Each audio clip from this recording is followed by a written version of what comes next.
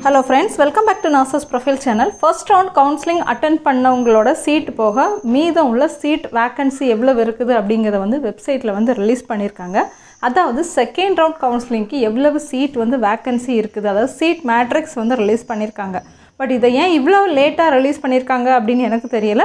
இன்றைக்கி வந்து second round கவுன்சிலிங்கோட சாய்ஸ் ஃபில்லிங்கே முடிய போகுது. இன்னும் கொஞ்சம் நேரம் தான் இருக்குது மணி. ஒரு மணி ஆச்சு இன்னும் ஒரு அஞ்சு மணி வரை தான் நடக்க போகுது.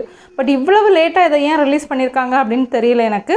பட் எனிவே ரிலீஸ் பண்ணியிருக்காங்க வெப்சைட்டில் போய் டவுன்லோட் பண்ணி பார்த்துக்கோங்க. இன்னும் யாராவது சாய்ஸ் லாக் பண்ணாமல் இருக்கிறீங்க அப்படின்னா அவங்களுக்கு வந்து இது கண்டிப்பாக வந்து யூஸ் ஆகும்.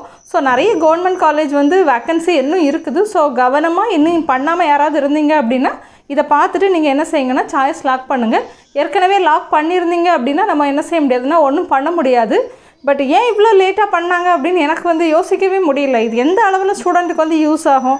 ஒரு யூஸும் கிடையாது. எல்லாமே முடிய போகிற காலத்தில் அவங்க வந்து என்ன செஞ்சுருக்காங்கன்னா ரிலீஸ் பண்ணியிருக்காங்க. ஸோ மை டியர் ஸ்டூடெண்ட்ஸ் பார்க்கணுன்னு நினைக்கிறவங்க வந்து என்ன செய்யுங்கன்னா வெப்சைட்டில் போய் டவுன்லோட் பண்ணிக்கோங்க.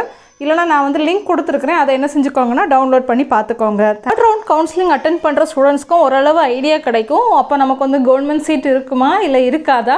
இல்லை செல்ஃப் ஃபைனான்சிங் காலேஜ் எவ்வளோ சீட் இருக்கும் அப்படிங்கிற மாதிரி ஒரு ஐடியா கிடைக்கும். So third round fourth round students கூட நீங்கள் என்ன செஞ்சுக்கலாம்னா இதை வந்து பார்த்துக்கலாம். தேங்க்யூ